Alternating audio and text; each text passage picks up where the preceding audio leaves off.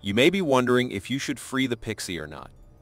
Basically, you definitely should do it. The thing is that she will give you Pixie's blessing, the protection against the shadow curse. And this is the best way to explore the whole location without a hustle.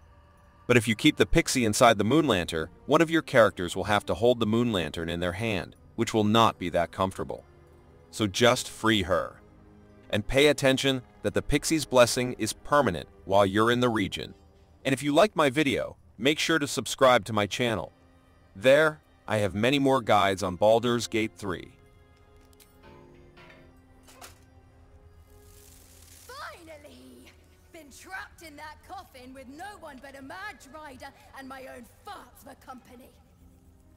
Did me a good turn there, didn't you? What do I owe you?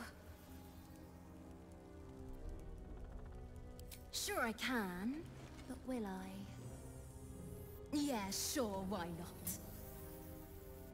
Here, give this bell a shake. Speak the magic words and you'll get what you've earned. Protection from the shadow curse. What more could a dingus want? You're welcome. Curious little thing.